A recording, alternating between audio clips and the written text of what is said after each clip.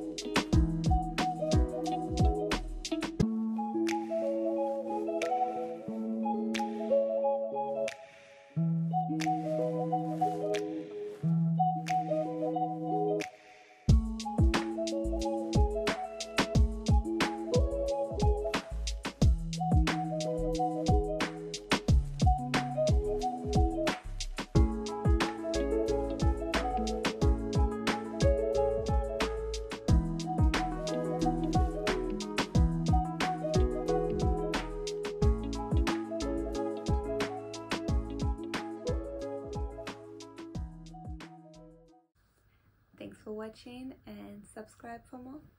See you.